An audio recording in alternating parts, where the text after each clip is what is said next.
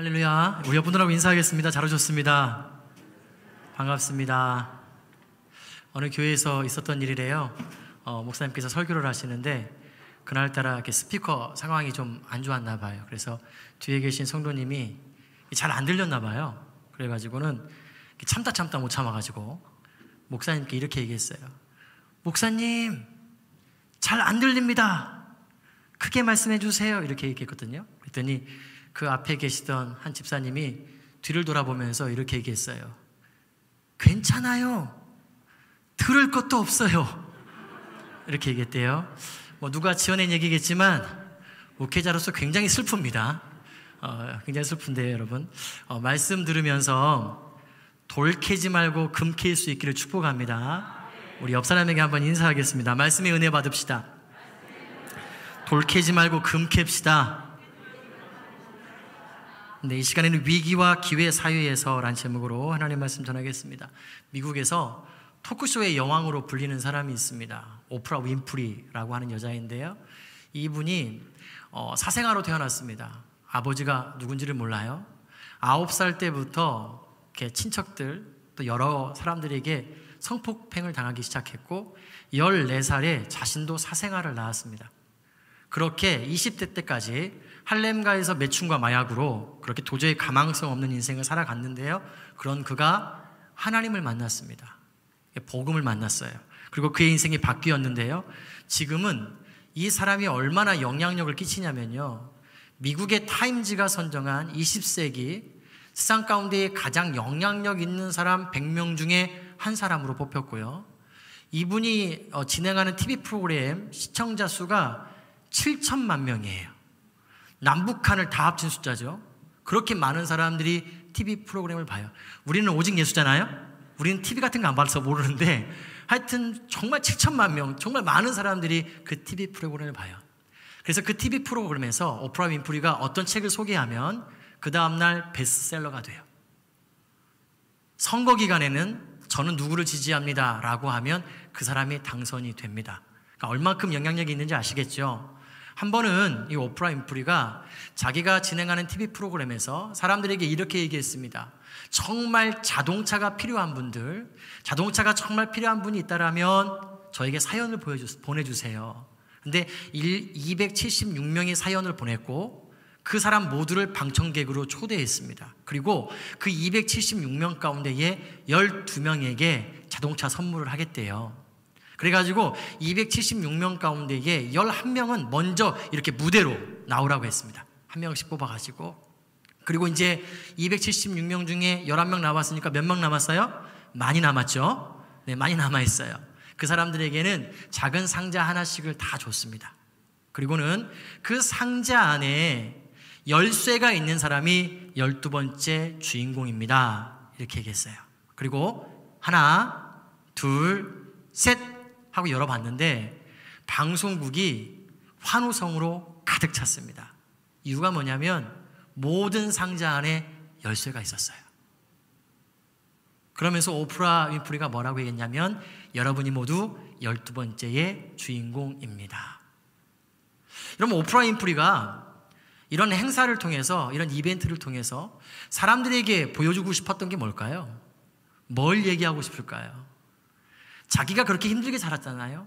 아무런 소망도 없이, 아무런 꿈도 없이 그냥 20대까지 정말 가망성 없는 인생을 살았는데 그가 어느 날 꿈꾸고 소망했는데 자기 인생이 그렇게 되더라는 거예요. 그래서 사람들에게 정말 여러분이 여러분 안에 무언가를 이루고 싶은 무언가가 있다라면 그것이 이루어질 거라고 믿는다라면 그 꿈은 이루어질 수 있습니다. 이걸 말해주고 싶었대요. 정말 소망이 없는 그 순간에 그 소망의 끝을 놓지 말아달라고 그렇게 보여주고 싶었대요.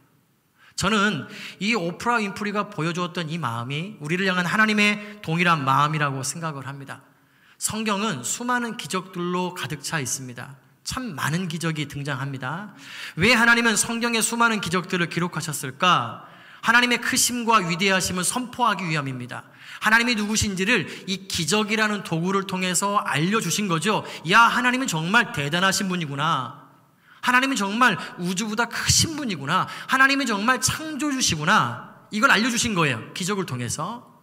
또 하나는요, 그러한 기적들을 통해서 하나님이 우리에게 말씀해 주고 싶은 게 있습니다. 무엇이냐면, 오늘도 그 기적은 일어난다라는 거예요.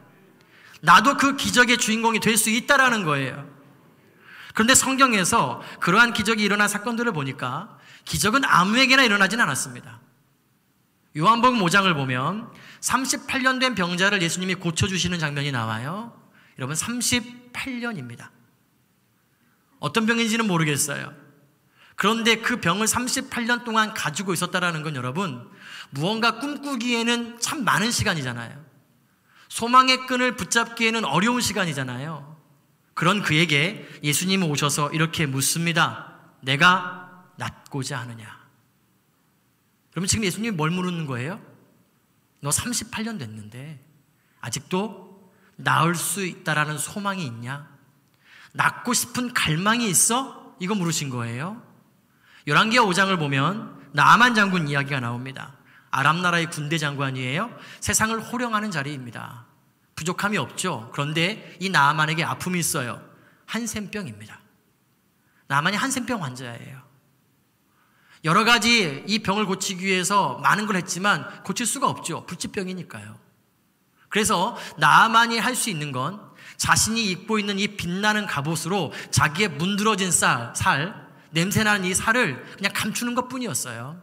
그런데 어느 날 자기 집에 끌려온 히브리 여종이 이렇게 얘기하는 거예요. 우리 주인님이 우리나라에 있는 엘리사 선지자를 만나면 이 병을 고침받을 수 있을 텐데 이렇게 해요. 여러분 어린 여종이 하는 말이잖아요. 무시할 수 있잖아요. 니까지 게뭘 알아? 이렇게 치부할 수 있어요? 그런데 여러분 나만이 그 어린 여종의 말을 듣고 그 먼 길을 떠납니다. 이유가 뭐예요? 낳고 싶어서요. 다시 소망을 가지고 싶어서요. 그래서 그 길을 떠났고 그 갈망이 그 소망이 결국 기적을 일으켰습니다. 오늘 본문에도 그와 같은 기적이 등장합니다. 이스라엘 백성들이 마른 땅을 걷듯 요단강을 건넜습니다. 여호수아 3장 17절을 보세요. 여호와의 언약궤를 맨 제사장들은 요단 가운데 마른 땅에 굳게 섰고 그 모든 백성이 요단을 건너기를 마칠 때까지 모든 이스라엘은 그 마른 땅으로 건너갔더라. 여러분 이게 말이 돼요?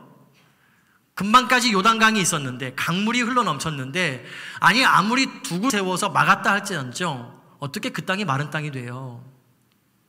될 수 없죠. 그런데 이스라엘 백성들이 그렇게 건너갔대요. 사랑하는 성도 여러분, 저는 오늘 이 말씀을 저와 여러분이 그냥 성경에 나오는 하나의 에피소드, 예전에 그런 일이 있었대 라고 치부하지 않기를 축복합니다. 하나님, 오늘도 내 인생 가운데에 요단강이 갈라질 줄 믿습니다. 하나님, 내 인생 앞에 있는 이 요단강도 갈라지면 좋겠습니다. 적어도 이런 갈망, 이 소망이 우리 가운데에 있기를 원해요. 그리고 그 소망과 갈망을 통해서 하나님이 우리의 인생의 위기를 기회로 바꾸어 주시기를 원합니다. 요단강은 이스라엘 백성들에게 분명 위기였습니다. 어떻게 해볼 수가 없어요. 여러분, 우리도 살다 보면 인생의 위기와 기회 사이에 깎일 때 있잖아요.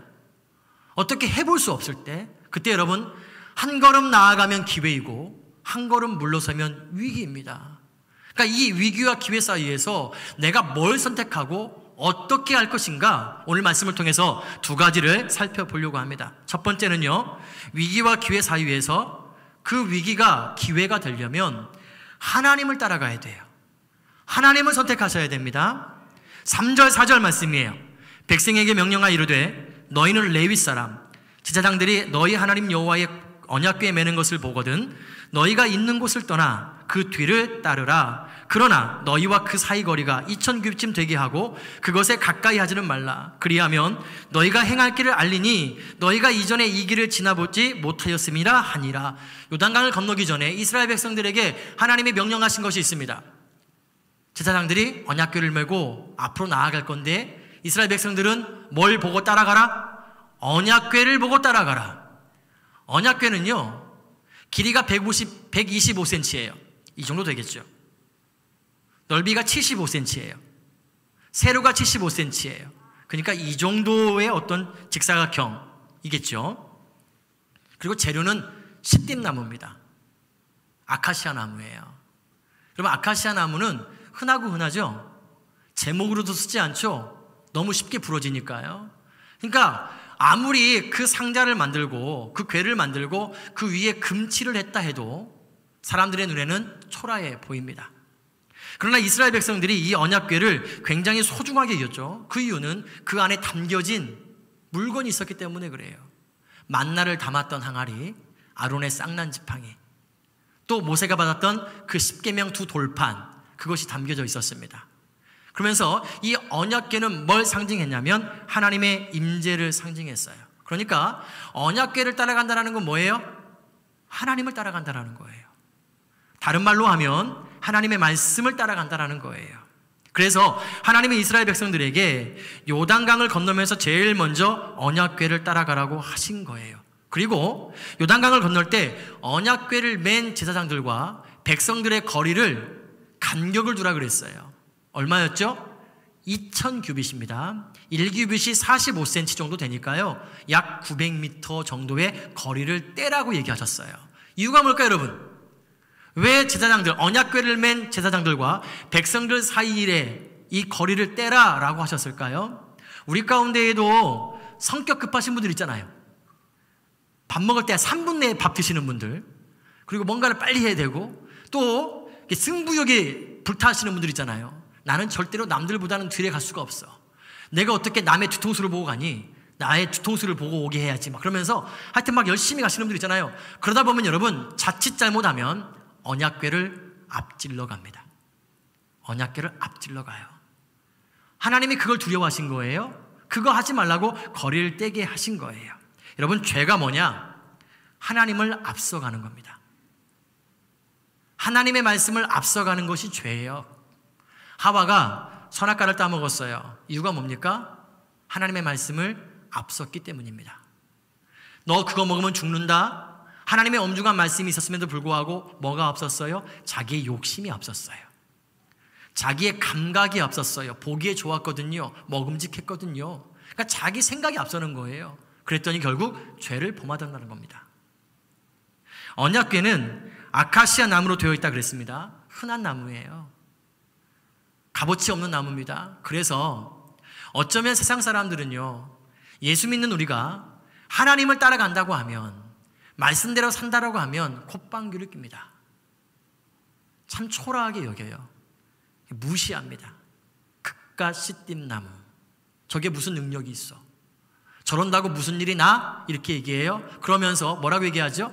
우리 안에 이 언약궤를 앞지르고 싶은 충동에 불을 지핍니다. 너 돈 있잖아. 너 그만큼 힘 있잖아. 너 지식도 있고 경험도 있잖아. 그거 가지고 네가 더 원하는 걸 할 수 있잖아. 이게 충동질을 해요. 그래서 말씀을 쫓아가는 삶이 조금은 느려 보이고 그것이 시시해 보이게 만들어요. 결국 그것을 앞지르게 된단 말이에요. 하나님은 우리 가운데 크게 두려운 거예요. 그래서 어떻게 하라고요? 언약궤를 멀리서 따르게 했어요. 또 하나 띈 이유가 있겠죠. 가까이 있으면 앞에 사람은 볼 수 있는데 뒤에 사람은 볼 수가 없어요. 멀리 간격이 있어야 뒤에 사람들도 그걸 보고 가는 거예요. 사랑하는 성도 여러분, 언약궤를 따라갈 수 있기를 축복합니다. 그것이 하나님의 함께 하심이고 성도의 능력인 줄 믿습니다. 그러면 하나님을 따라간다라는 게 뭘 의미하느냐? 적용입니다. 내 삶의 영역에서 하나님을요, 인정하는 거예요. 그리고 그분을 의지하는 것이고 나의 주권을 그분에게 모두 양도하는 겁니다. 저는 다윗의 위대함이 여기 있다고 생각해요. 그럼 다윗이 10편 18편에서 하나님을 이렇게 고백합니다. 나의 힘이신 여호와여 내가 주를 사랑하나이다. 여호와는 나의 반석이시요 나의 요새시요 나를 건지시는 이시요 나의 하나님이시요 내가 그 안에 피할 나의 바위시요 나의 방패시요 나의 구원의 뿌리시요 나의 산성이시로다. 다윗이 하나님을 힘이라고 얘기하고 반석이라고 얘기하고 요새라고 얘기하고 바위라고 얘기해요. 방패라고 얘기해요. 구원의 뿌리라고 얘기해요. 여러분 다윗이 이런 식으로 하나님을 묘사하는 이유가 뭘까요? 하나님은 힘입니다. 이거는 이해가 되시죠? 근데 하나님의 바위래요. 반석이래요. 구원의 뿌리래요. 요새래요. 다윗이 늘 보는 게 이거밖에 없어요. 군인이잖아요. 늘 전쟁터에서 보는 게 요새고 방패고 바위고 뭐 이런 것들밖에 안 보여요. 그런데 어느 날인가 적의 공격이 있었는데 내가 요새 안에 있어서 구원을 받았어요. 적의 쏜 화살을 방패로 막아서 죽지 않았어요. 그런데 여러분 다윗이 고백하는 게 뭡니까? 야 요새 때문에 살았어. 내가 방패가 있어서 살았어. 이렇게 고백하지 않는다고요. 뭐라고요? 이 방패를 통해서 하나님을 경험하는 거예요. 하나님을 고백하는 거예요. 하나님이 지금 나의 방패시다. 하나님이 내 삶을 지키셨다. 하나님이 나의 요새시다. 그래서 하나님 내 삶을 지키셨다. 사랑 성도 여러분, 여러분의 삶에도 이런 고백이 있습니까? 우리 여자 집사님들 가정에서 뭐 식사 준비하시면서 많은 것들을 보잖아요. 냄비 보자 냄비. 그죠? 여호와는 나의 냄비시라. 여호와는 나의 주걱이시라. 막 이러면서 여러분 하나님을 여러분 막 기억이 돼요? 하나님이 떠오르세요? 우리 뭐 건축하는 집사님들 하나님은 나의 포크레인이다. 얼마나 편해요 포크레인 있어가지고 여러분 땅 팔려고 삽으로 땅 팔려고 해보세요. 근데 포크레인 때문에 편하게 하잖아요. 그러니까 그런 것들을 보면서도 하나님을 고백하는 거예요. 하나님이 내 삶 가운데 붙드시고 인도하시고 그분이 나의 힘이 되어 주시는구나. 여러분 이게 영성 있는 삶 아닐까요? 그런데 우리는 정말 하나님이 만드신 이 아름다운 자연을 보면서도 하나님이 하나도 생각이 안 나요. 공중에 날아다니는 새를 봐도 들에 핀 아름다운 꽃을 보아도 여러분 저녁에 지는 그 아름다운 노을을 봐도 하나님이 하나도 생각이 안 나요. 온통 내 문제. 이거 어떻게 풀까? 온통 내 욕심. 온통 나밖에 보이지 않아요. 여러분, 하나님의 말씀을 따른다는 건 그 하나님을 기억하는 겁니다. 그리고 그분을 신뢰하고 의지하는 거예요. 여러분, 우리가 그렇게 살아가기를 축복합니다. 여러분, 그거 아십니까? 하나님이 정말 우리에게 복 주시길 원하세요. 정말 여러분이 그토록 원하고 기도하는 거 다 주고 싶으세요. 다. 근데 하나님이 두려우세요. 그거 주면 하나님 떠날까봐. 그거 주면 하나님 잊어버릴까봐. 신명기 8장에서 하나님 이렇게 말씀합니다. 내가 오늘 내게 명하는 여호와의 명령과 법도와 규례를 지키지 아니하고 내 하나님 여호와를 잃어버리지 않도록 삼가라. 제발 좀 나좀 좀 잊지 말아라. 이렇게 얘기하는 거예요. 근데 언제 우리가 하나님을 잊어버리느냐? 그다음 보십시오. 네가 먹어서 배부르고 아름다운 집을 짓고 거주하게 되며 또 내 소와 양이 번성하며 내 은금이 증식되며 내 소유가 다 풍부하게 될 때에 그때 있는데요. 내 마음이 교만하여 내 하나님 여호와를 잊어버릴까 염려하노라. 여호와는 너를 예굽 땅 종도였던 집에서 이끌어내시고 너를 인도하여 그 광대하고 위험한 광야 곧 불뱀과 전갈이 있고 물이 없는 간조한 땅을 지나게 하셨으며 또 너를 위하여 단단한 반석에서 물을 내셨으며 내 조상들도 알지 못하던 만나를 광야에서 내게 먹이셨으니 보세요. 지금 여러분 하나님이 어떻게 인도하셨느냐? 풍족함 가운데 인도하지 않았습니다. 그냥 정말 목말라 죽을 것 같으면 물을 주셨어요. 배고파 쓰러질 것 같으면 하나님이 먹이셨어요. 이렇게 인도하셨대요. 그런데 여러분 그게 이유가 있습니다. 뭐라고요? 이는 다 너를 낮추시며 너를 시험하사 마침내 내게 복을 주려 하심이라. 그렇게 하나님 우리의 인생 가운데에 인도하신 이유가 뭐냐? 복 주고 싶으시대요. 복 주고 싶으셔요. 그러나 내가 마음에 이르기를 내 능력과 내 손의 힘으로 내가 이 재물을 얻었다. 이 옷에 내 힘으로 싼 거지. 이 방패 내가 돈 주고 산 거야. 이 수많은 군사들 내가 다 먹이는 거지. 여러분 보세요. 다윗은 이렇게 고백하지 않았어요. 전부 다 그 안에 하나님을 고백했어요. 그러면서 하나님이 뭐라고 하죠? 내 하나님 여호와를 기억하라. 그가 내게 재물 얻을 능력을 주셨습니다. 이같이 하심은 내 조상들에게 명세하신 언약을 오늘과 같이 이루려 하심이라. 사랑하는 성도 여러분, 매 순간순간 하나님을 인정하고 의지할 수 있기를 바랍니다. 여러분의 주권을 하나님 앞에 올려드리고 주님이 말씀하신 그 언약계를 따르는 삶 세상 사람들이 봤을 때는 초라해 보여요. 아카시아 나무 같아요. 저걸 가지고 뭐해? 라고 하는 그 순간에도 신실하게 주의 말씀을 따라서 하나님과 동행하심 하나님의 그 능력과 은혜를 우리가 다 충만히 받는 하나님의 거룩한 종들 될수 있기를 주의 이름을 축복합니다. 그런가 하면 두 번째로 위기와 기회 사회에서 위기를 기회로 바꾸려면 성결해야 돼요.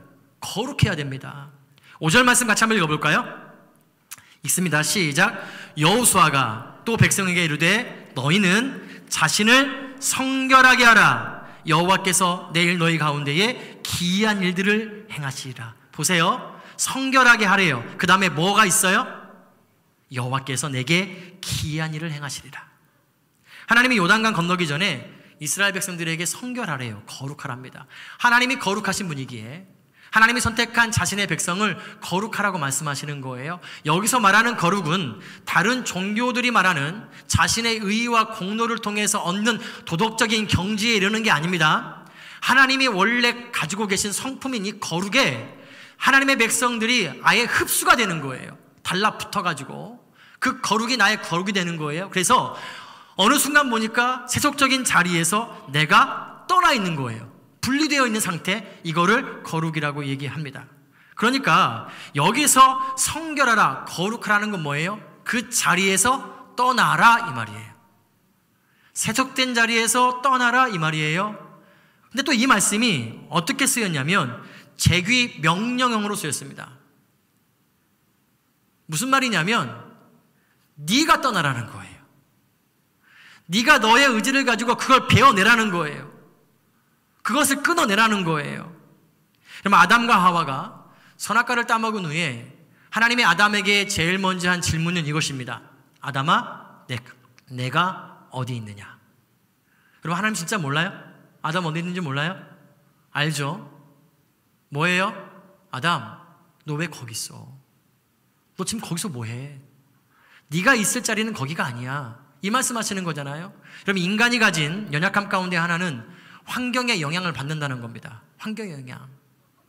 내가 원치 않아도 그냥 어느 순간 그 환경에 있으면 옮게 되어 있어요. 검정색을 좋아하면 검게 됩니다. 붉은색을 좋아하면 붉게 돼요. 제가 가끔 식사를 급하게 하고 청년들 뭐 제자훈련이나 어떤 모임을 가질 때가 있어요. 그러면 우리 청년들이요. 기가 막히게 제가 뭘 먹고 왔는지 압니다. 막 의미심, 의미심장한 눈빛으로 보면서 목사님 삼겹살 드셨네요. 막 이러면서 목사님 오늘은 짜장면 드셨네요. 이러긴단 말이에요. 어 그러면 제가 깜짝 놀라요. 아마 뭐 목사보다 영빨이 더 좋은 것 같아요. 아 얘들은 대체 어떻게 알았을까? 그러잖아요. 여러분 청년들이 어떻게 알았어요? 옷에 뱄잖아요. 그죠? 삼겹살 냄새가 배고 짜장면 먹은 냄새가 뱄기 때문에 아는 거잖아요. 그러니까 여러분 우리가 인간의 몸으로 살아가는 동안은요, 절대로 환경을 벗어날 수가 없습니다. 하나님의 뜻대로 여러분 살고 싶으세요? 정말 믿음의 사람으로 살고 싶으세요? 아, 그러면 하나님의 축복하실 자리로 가야죠. 하나님의 은혜와 능력이 임하는 자리로 가셔야 되잖아요. 죄악된 자리에 앉으시면서 그곳에 살면서 하나님 내가 은혜 받기 원합니다. 하나님의 복을 받길 원합니다. 그럴 수 없다고요. 그래서 여러분, 하나님의 기이한 일을 보기 위해서는, 하나님의 복을 받기 위해서는, 여러분, 하나님이 원치 않는 자리, 하나님이 그 싫어하는 자리를 떠나셔야 된다고요. 베어내셔야 된다고요. 그래서 하나님은 이스라엘 백성들을 향해서 거룩하라고 말씀하신 거예요. 오늘날 성도들의 치명적인 영적인 약점은 죄에 대해서 민감하지 않다라는 겁니다. 죄에 대해서 아파하지 않습니다. 애통하지 않습니다. 정말 그것이 분명히 죄라는 걸 알아요. 그런데도 그거에 대해서 민감하지 않아요. 아파하지 않습니다. 죄로 인해서 우리의 속사람은 다 죽어가는데 겉사람만 멀쩡하면 된다는 식의 논리를 가지고 살아갑니다. 어쩔 수 없어. 환경이 그런데 뭐. 남들도 그렇게 살아. 이렇게 말해요. 여러분 정말 그런가요? 예수님 당시에 바리새인들과 서기관들이 독사의 자식들아 회칠한 무덤아 예수님께 책망받습니다. 이유가 뭘까요? 정말 그들의 종교적인 열심은 우리를 능가합니다. 그런데 여러분 그들의 삶에 회개가 없습니다. 자신의 죄에 대해서 아파하는 마음이 없어요. 그랬더니 어느 순간 독사의 자식들이 되더라는 거예요. 우리가 그토록 하나님의 은혜와 능력을 구함에도 불구하고 하나님의 그 은혜와 능력이 내 삶 가운데 왜 임하지 않는가? 성경은 이렇게 말씀합니다. 이사야 59장 1절과 2절입니다. 여호와의 손이 짧아 구원하지 못하심도 아니고 귀가 둔하여 듣지 못하심도 아니라 오직 너희 죄악이 너희와 너희 하나님 사이를 갈라놓았고 너희 죄가 그의 얼굴을 가리어서 너희에게서 듣지 않으시게 함이라. 우리 사이에 우리와 하나님 사이에 죄가 가로막아서 그 하나님의 은혜와 능력이 우리 삶에 임하지 않는다라는 거예요. 그러므로 이 시대에 살아가고 있는 성도들의 가장 시급하고 회복해야 할 게 뭐냐? 죄에 대해 아파하는 마음입니다. 죄에 대해서 애통하는 마음이에요. 죄와 피 흘리기까지 싸우는 그 마음이에요. 여러분 이 마음이 회복될 수 있기를 원합니다. 거룩한 척, 깨끗한 척. 여러분 그만하시고요. 하나님 앞에 자신의 죄를 고백할 때에 하나님 우리의 인생의 위기 가운데에 우리의 기회로 바꾸어 주실 줄 믿습니다. 저는 오늘 라우디게아 교회를 향한 하나님의 엄중한 경고가 우리의 10년 가운데에 잘 박힌 목과 같이 박히기를 원합니다. 라우디게아 교회 사자에게 편지하라. 김충곤에게 편지하라. 아멘이시요. 충성되고 참된 증인이시요. 하나님의 창조의 근본이신 이가 이르시되 내가 네 행위를 아노니 네가 차지도 아니하고 뜨겁지도 아니하도다. 내가 차든지 뜨겁든지 하기를 원하노라. 내가 이같이 미지근하여 뜨겁지도 아니하고 차지도 아니하니 내 입에서 너를 토하여 버리리라. 보십시오. 뭐라고 착각하고 있는지. 네가 말하기를 나는 부자야. 부요해. 부족한 것이 없어. 사실인가요?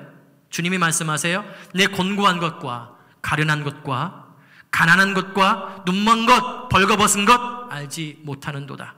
내가 너를 권하노니 내게서 불로 연단한 금을 사서 부유하게 하고 흰 옷을 사서 입어 벌거벗은 수치를 보이지 않게 하고 안약을 사서 눈에 발라 보게 하라. 물은 내가 사랑하는 자를 책망하여 징계하노니 그러므로 어떻게 해라? 내가 열심을 내라 회개하라. 내가 열심을 내라 회개하라. 여러분 우리가 어떻게 하면 죄를 이길 수 있을까요? 그 지긋지긋한 죄. 성경은요 피하라고 얘기합니다. 그 자리를 떠나라 그래요. 10편 1편과 2절 보십시오. 복 있는 사람은 악인들의 꾀를 따르지 아니하며 죄인들의 길에 서지 아니하며 오만한 자들의 자리에 앉지 아니하고 오직 여호와의 율법을 즐거워하여 그의 율법을 주야로 묵상하는도다. 죄를 이기기 위해서 제일 먼저 뭐 하라고요? 피해라. 죄인들의 길을 피해라. 악인들의 꾀를 피해라. 오만한 자들의 자리를 피해라. 그런데 여러분, 언제까지 피할 수 있을까요? 피하고 피하고 피하고 언제까지요? 여러분 태풍이 몰아치는데 우산 하나 들고 나는 비 한 방울도 안 맞을 거야. 가능한가요? 어느 순간 바지가 다 젖어 있죠.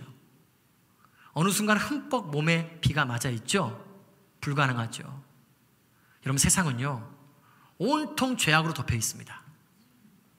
어딜 가도 죄예요. 어딜 가도 피했어요. 거기도 죄예요. 피했어요. 거기도 죄예요.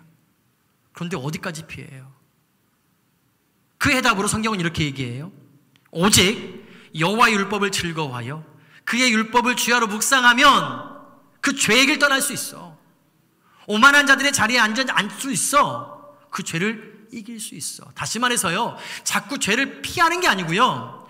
하나님이 기뻐하시는 일을 열심히 하는 겁니다. 하나님이 우리에게 하라고 하신 그 일에 미치는 거예요. 그러다 보면 어느 순간 우리 안에 거룩의 모습이 그 하나님 우리 가운데 원하는 성품이 맺혀지더라는 겁니다. 마틴 루터의 일화인데요. 마틴 루터가 아침 식사를 하고 있었어요. 그 옆에 키우던 개가 마틴 루터를 보고 있습니다. 숟가락을 든 손이 밥그릇으로 가면 개가 거기로 눈을 맞추고 입으로 가면 또 입을 보고 막 그런 거예요. 신기하기도 하고 대견하기도 하고 그래서 고기 한 점을 줬어요. 그랬더니 이 개가 냉큼 먹더니 다시 마틴 루터를 막 쳐다보고 있는 거예요. 그 모습을 보고 마틴 루터가 한 가지 깨달았어요. 그러면서 이렇게 흥얼거렸습니다. 개가 내 손을 쳐다보는 것처럼 나도 하나님만 바라보았더라면 하나님은 내게 더 크게 감동하셨을 텐데. 여러분, 그러니까 세상에서 죄 안 지으려고 막 도망갈 게 아니라 정말 하나님이 내게 원하는 게 뭐지? 내가 어떻게 살기를 원하시지? 그것이 우리에게 분명히 알아졌다라면 거기에 집중하고 그렇게 살아보자라는 거예요. 그럴 때에 하나님이 우리의 삶을 높여주시고 기뻐하신다라는 겁니다. 사랑하는 성도 여러분, 하나님이 기뻐하시는 일에 열심을 낼 수 있기를 축복합니다. 그러면 죄를 이길 수 있어요. 여러분 우리 교회 가운데 여러 가지 막 많이 하잖아요. 목회자 세미나도 하고 뭐 영상 세미나도 하고 여러분 경 오신 분들 알아요. 죄 지을 시간이 없잖아요. 너무 바빠가지고 죄 지을 시간이 없어. 그러잖아요. 이런 것처럼 그러니까 우리가 소극적으로 죄를 자꾸 피하고 피하고 피하고가 아니라 적극적으로 죄를 이겨나가는 저와 여러분 되기를 원합니다. 여러분 피 흘리기까지 싸우셔야 됩니다. 애통하셔야 됩니다. 영적인 민감함으로 그 죄를 볼 수 있는 눈이 있어야 돼요. 하나님 내게 그 은혜 주십시오. 그래서 우리가 하나님이 원하시는 거룩의 삶으로 변화되기를 원해요. 말씀 연이하겠습니다. 여러분 우리가 아무리 기도를 많이 해도요. 하나님의 뜻을 어떻게 알 수 있습니까? 정말 하늘을 날고 기어도 그 누가 하나님의 뜻을 알아요. 아, 요단강이 넘실거리는데 맨몸으로 요단강을 들어가래요. 여러분, 이 하나님의 뜻을 우리가 어떻게 알 수 있습니까? 그래서 때로는 하나님 도대체 나한테 왜 이럽니까? 이렇게 투덜거리는 상황이 벌어지죠. 정말 하나님을 향해서 그런 마음이 생길 때가 있단 말이에요. 그런데 여러분, 그때에 하나님이 가라고 할 때 가는 것이 믿음인 줄 믿습니다. 하나님을 알고 가는 것이 아니라 그냥 믿고 따라가는 삶이 여러분 신앙인 줄 믿어요? 그렇기에 나의 길 오직 그가 하시나니 나를 단련하신 후에 내가 순금같이 되어 나아오리이다. 여러분 이 고백은요 정말 믿음의 고백이에요. 진실한 그리스도인의 승리의 고백인 줄 믿습니다. 저는 우리 모두가 이 고백이 있길 원해요. 지금 위기 가운데 서 계십니까? 여러분 앞에 요단강이 넘실돼서 앞으로 갈 수도 없고 뒤로 갈 수도 없고 꼼짝 못하는 그 상황 가운데에 여러분 하나님이 오늘 말씀하세요. 사랑하는 아들아 따라 언약궤를 쫓아가라. 하나님의 말씀을 쫓아가라. 나를 잊지 말고 내가 오늘도 너와 함께 한다는 걸 기억하고 나를 신뢰해라. 그리고요 성결해라. 세상 사람들처럼 적당히 섞여서 그렇게 살아가지 않고 그리스도인의 선명한 색깔을 가지고 나의 자녀됨을 자랑스러워하면서 그렇게 살아라 라고 말씀해요. 제가 어제 우리 리더들과 리더 모임을 하면서 이런 얘기 했습니다. 지금 주님이 오신다고 해도 여러분 할 말 없을 것 같죠? 세상을 보십시오. 지금 주님이 이 땅을 심판하신다고 해도 그 누가 뭐라고 할 수 있습니까? 주님, 어떻게 이렇게 좋은 세상을 심판하실 수 있습니까? 그 누가 말해요. 심판에도 아무런 할 말 없어요. 심판받기에 마땅한 상황입니다. 그런데 여러분, 하나님이 그 심판을 유보하십니다. 너희들 그 이유 알아? 제가 우리 청년들에게 있어요. 너희들 그 이유 알아? 애들이 뻥해요. 하여튼 목사가 뭐 질문하면 대답을 안 해요. 그래가지고 내가 이렇게 얘기했어요. 너희들 때문이야. 너희들 때문에. 오늘도 이 땅에 아픔을 가지고 하나님을 대신해서 기도하는 너희들이 있어서 오늘도 예배의 자리를 꿋꿋이 지키는 너희들이 위해서 있어서 이 땅은 지금 변, 견디는 거야. 여러분 우리 안에 이 자부심 있습니까? 여러분 이것도 없이 신앙생활 어떻게 해요? 이게 있어야죠. 말은 못한다 할지라도 정말 세상이 명, 망하지 않는 이유 그거 아세요? 진짜 교회 때문에 그래요. 세상 사람들은 교회를 욕하고 뭐라 해도 이런 분명한 건 세상의 소망은 교회입니다. 그리스도인들이에요. 그래서 하나님 우리 가운데 오늘도 그렇게 언약궤를 쫓아가는 삶, 성결한 삶, 그렇게 애타게 외치고 외치는 거예요. 우리 안디옥의 모든 성도들이 이 말씀에 반응해서 정말 위기 가운데에서 하나님의 기회로 나아가는 하나님의 거룩한 백성들 되기를 주의 이름을 축복합니다. 함께 찬양하길 원해요. 우리 주가 보이신 생명의 길, 우리 요배 고백인데 하나님 그래요.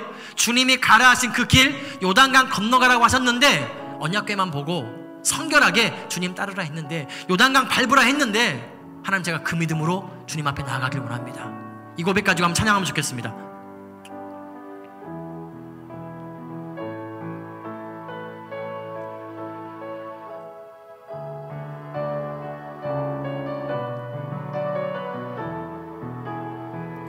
주가 보이신 생명의 길. 주가 보이신 생명의 길. 나 주님과 함께 상한 마음을 들이며 주님 앞에 나가리. 나의 의로움이 되신 주 그 이름 예수. 나의 길이 되신 이름 예수 나의 길 오직 그가 시나니 나를 단련하신 후에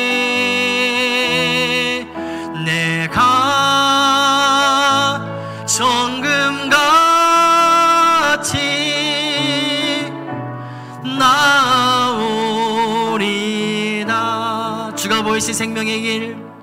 주가 보이신 생명의 길나 주님과 함께 상한 마음을 들이며 주님 앞에 나가리. 나의 의로움이 되신 주 그 이름 예 나의 길이 되신 나의 길이 되신 이름 예 수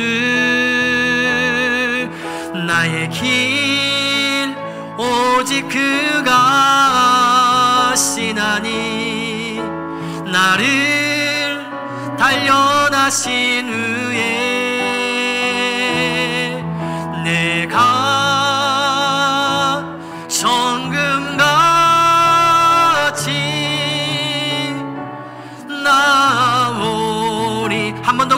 고백합니다 나의 길 오직 그가 시나니 나의 길 오직 그가 시나니. 아멘. 나를 단련하신 후에